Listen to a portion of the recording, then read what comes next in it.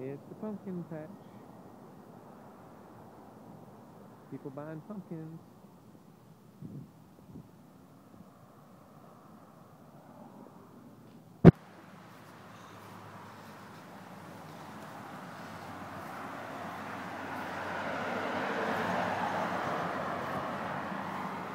Lots of pumpkins. Pumpkins, pumpkins everywhere.